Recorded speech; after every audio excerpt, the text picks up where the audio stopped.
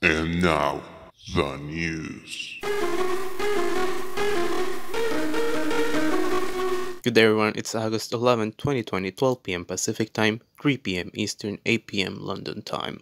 August 12, 4 a.m. Tokyo Time and 7 a.m. Auckland Time. People are dying. The pandemic of COVID 19 shocked the world earlier this year and has stayed since. Find out more next time on The News.